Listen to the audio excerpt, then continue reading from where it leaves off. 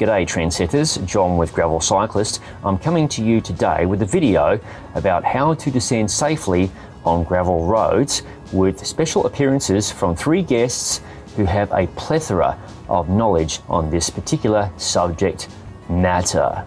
This is a video I spent a long time contemplating, as you can see from the date I drafted the original article way back in December of 2014. It took some thought and technology to progress a little before I could go ahead with this production. And remember, cycling and the related activity of descending can be a risky business. What follows in this video are tips. You and you alone are responsible for your actions. Use good judgment, wear a helmet, ride within your limits, and be safe. Hi, I'm Karen with Panaracer Factor of Bikes, and I'm going to give you some tips on how to descend on gravel.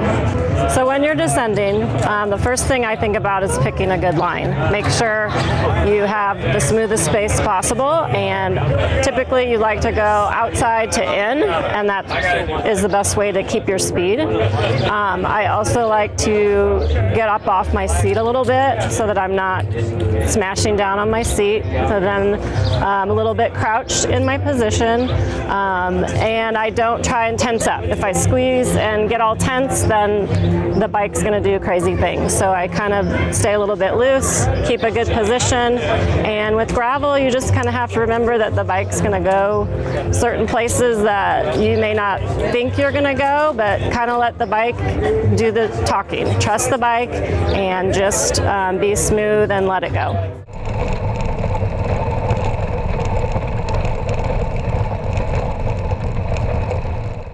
A tip I rely on when descending into a corner populated by washboard, corrugations or ruts is to scrub off speed before I enter the corner, preferably on the drops, utilising mostly the rear brake with my weight shifted back. Then, depending on the gradient, I try and get off the brakes altogether and allow the bike to take the hit through the corner. Pulling hard on the front brake across a rut or washboard could cause the bike to dive forward, especially if your weight isn't shifted back far enough. In this scene, I'm descending a very steep and rough descent. I'm doing most of my braking with the rear brake, pulsing it on and off, and pulse braking on the front once I'm clear of the corner to help keep the speed in check. I'm doing my best to continually look up the road and stay to the appropriate side of the narrow road, which isn't always possible. On the corners, I don't lean hard into them, but I shift my weight so my outside leg bears more of my weight and ideally keeps traction in the corner. In the corner just ahead, I get off the brakes completely, remain loose, and allow the bike to take the hit on a rut I spotted. My body weight is well back. Tip number one, uh, don't uh, have too much air in your tires. You want them a little soft so they kind of grip the road. Tyre pressure is arguably the most important factor to overall comfort on a gravel bike, and during a descent, it's a huge factor to safety. My friends at ENVE have created an extremely helpful recommended tyre pressure chart, which I have linked in the video description below. In a nutshell, the chart breaks it down by body weight, inner rim width, tyre width, and of course, recommended tire pressure. Tip number two, control your speed so you're not uh, losing uh, friction when you're taking that turn. Then you probably don't want to lean into it too hard on a gravel surface. And tip number three, have some confidence. Always look ahead, up the road, scanning for potholes, ruts, or the unexpected. If you have to make a direction change, don't make a sudden movement. Gently adjust your line to avoid the obstacle. If you must cross the middle of the road across a crown of gravel, avoid doing so until the crown flattens out. Riding through deep gravel at speed is akin to riding sand and asking for trouble. Avoid descending on the brake hoods. If you strike a pothole at speed, you stand a greater chance of losing the bike from beneath you if your hands slip off the hoods. Descending on the drops provides better control and better leverage on the brake lever, requiring less force to effect braking. This next piece of advice is not recommended for everybody, but if you use a navigation device, glancing down quickly and periodically at the map screen can give you an idea of what to expect a little further up the road. Be extremely careful if you do take your eyes off the road, even if only for a split second.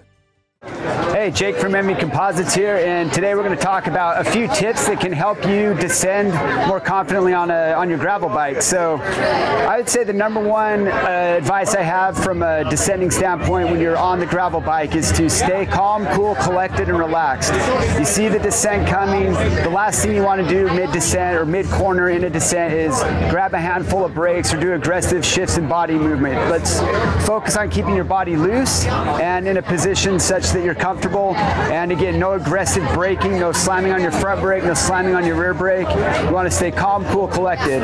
Um, second tip I have is it's always a good idea to lower your center of gravity. So for me personally, um, I immediately go to the drops when I descend. The drops of our gravel bar are my favorite position for descending. And then I also have a dropper post on my gravel bike, which helps, again, lower my center of gravity for, uh, again, more confidence and then just a more stable feel while descending. And then my third uh, third tip would probably be just to uh, I don't know if there's a third tip, but that's the uh, that's the tip right there. Calm, cool, collected. In this scene from the 2017 Crusher in the Tushar, gravel cyclist K-Dog is descending the Col d'Crush.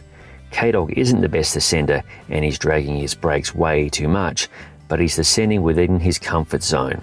Also, he's sticking to the appropriate side of the road, out of the way, and riding predictably down the descent, holding a steady line. And this is an example of the unexpected happening to yours truly.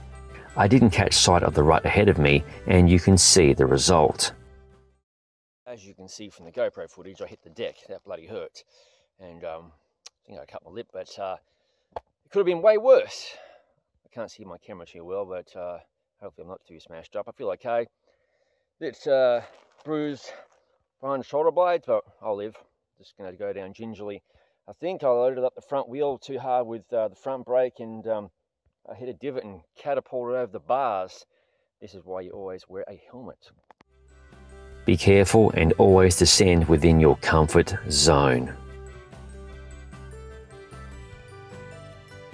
Thank you for watching. I hope you found this video to be helpful and insightful.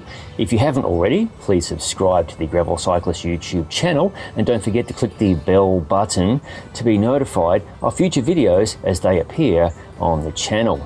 I'll see you in the next video.